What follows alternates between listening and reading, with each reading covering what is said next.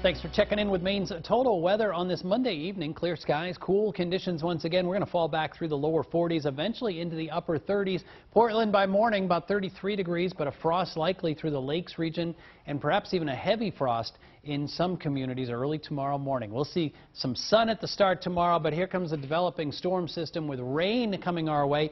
Probably not during the day tomorrow, but tomorrow night into Wednesday morning. That would be the timing of it. Sunshine gives way to increasing clouds during the day tomorrow, but you can see the rain is still off to our south. That then pushes north. And Wednesday during the morning hours, that's when some of the heaviest rain is coming down. It then tapers off to showers during the afternoon, and we get back into partly sunny skies on Thursday.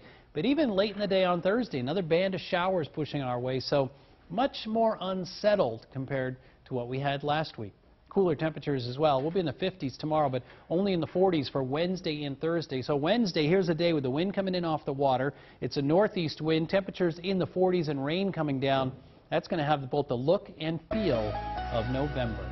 Little round of showers on Thursday. Partial sunshine returns for Friday.